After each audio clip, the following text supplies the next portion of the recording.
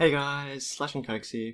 This will be a quick little discussion, basically going over the damage values and, well, basically the damage you can do to AI and bosses basically in the raid. So, firstly, this will be basically using the highlight because that's that's really one of the better things to use considering there's no damage fall off and it gives you those values a bit better because no damage fall off. So yeah, no change in damage over range.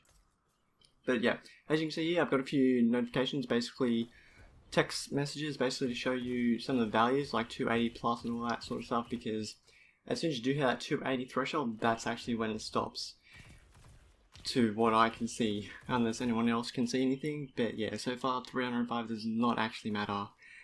But yeah as you can see right here so 280 plus and you're still hitting 92 and yeah power 305 so it actually is the same. So don't really bother with anyone who's actually saying, oh, you need to be 300, you need to be over 290.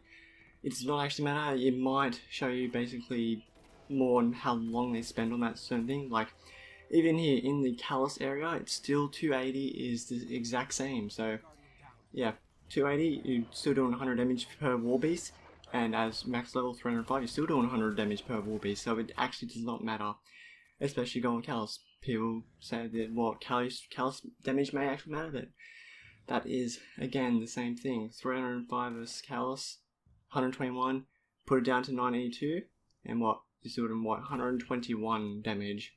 Drop it down even further to the 280 mark, so that's what the threshold's supposed to be. That is also 121. Yep. Now if we drop it down even further, so we really want to try and get that 270 mark, 270 to the 280. So because 280 is supposed to be the threshold, so if you go just below that, this changes to 87. So yes, as long as you are the 280 required light, you will do the same amount of damage as a 305 person. Give or take the weapons you bring, the weapons and maybe the mods. It might, might depend on the mods a little bit, but that's really all on that guys, that's really all there is to it to the power level, so just as long as you are that threshold, you will be fine, that's really all there is to it. So, there you guys, I'll see you next video.